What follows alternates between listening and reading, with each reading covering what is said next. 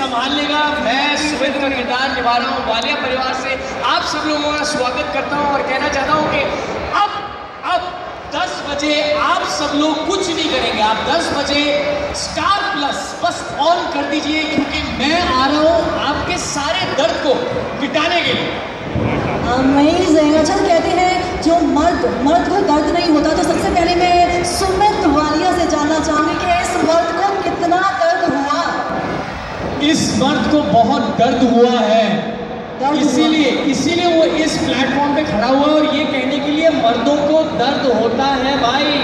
बहुत दर्द होता है। इतने सालों से हम लोगों ने ये दर्द महसूस किया है कि नहीं? किया है ना? किया है। मुझे फिर तीन आवाज़ें सुनाई दी। किया हम लोगों ने? किया है ना?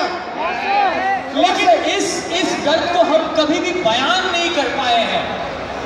लेकिन 2015 में एक सीरियल आ रहा है जिसका नाम है सुमित संभाल लेगा। सुमित संभाल लेगा, जहाँ पे आप ये सारे वालिया परिवार से मिल सकते हैं। वहाँ पे मर्द अपना दर्द बयान भी कर सकते हैं और कह सकते हैं हाँ भाई, मैं भी रोता हूँ। मैं भी इमोशनल हूँ। मैं भी पिसता हूँ। मेरी भी एक फैमिली है। मैं भी महसूस चीज़ें ऐसा मैं आपको आपको मौका मिलेगा।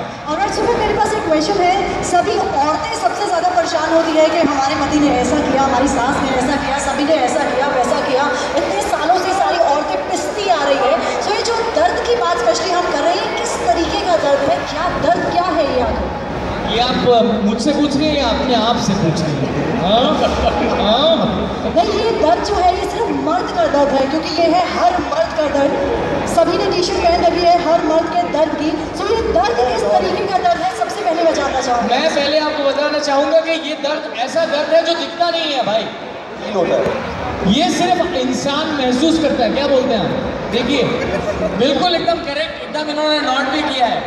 ये दर्द दिखने वाला दर्द नहीं है।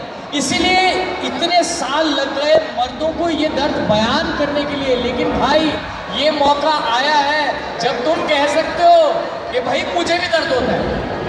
क्या बात है क्या बात है। मैं सबसे पहले चाहूँगी एक बार सुमित वालिया के लिए जोरदार तालियाँ हो. So, सबसे पहले हमने सभी से कुछ प्रश्न पूछे कुछ क्वेश्चंस पूछे कि खाने से रिलेटेड के और घूमने से रिलेटेड बाहर घूमने से रिलेटेड तो एक क्वेश्चन मैं सबसे पहले आपसे पूछना चाहूँगी जो सभी बेसब्री से इंतज़ार कर रहे हैं। इनफैक्ट काफ़ी सारे लोग मेरे पास आए और बोला आएँगे तो ये क्वेश्चन हमारी तरफ़ से ज़रूर पूछना। और वो क्वेश्चन ये है कि कितना मुश्किल है बैलेंस बनाना माँ और बीवी के बीच? एक लंबी सांस। एक बहुत लंबी सांस। नहीं मैं ये कहना चाहूँगा कि ये ये जो बैलेंस है जो आप देख सकते हैं हमारे प्रोमो में मैं जो रस्सी पे चला हूँ वो उस रस्सी पे चलना बहुत मुश्किल है।